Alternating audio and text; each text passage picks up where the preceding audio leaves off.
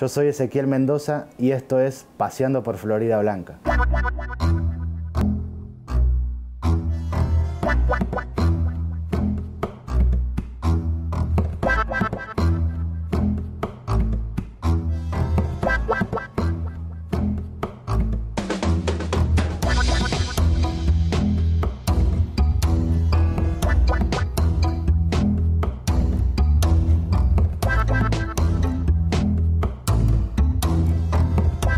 Veo futuro en Florida Blanca más de lo que está posicionado.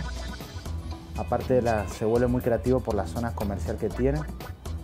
Y para los emprendedores que, vengan a conocer Florida Blanca, que tiene buen empuje y buen crecimiento. Acá sentí como un poco el calor humano de la gente, ¿sí? La solidaridad. Bogotá me pareció una ciudad fría, el clima no me gustó, los trancones, como le dicen acá, tampoco me pude adaptar acá encontré la calidad y, y, el afecto de las personas. Entonces, ya me considero un santanderiano más, así por decirlo.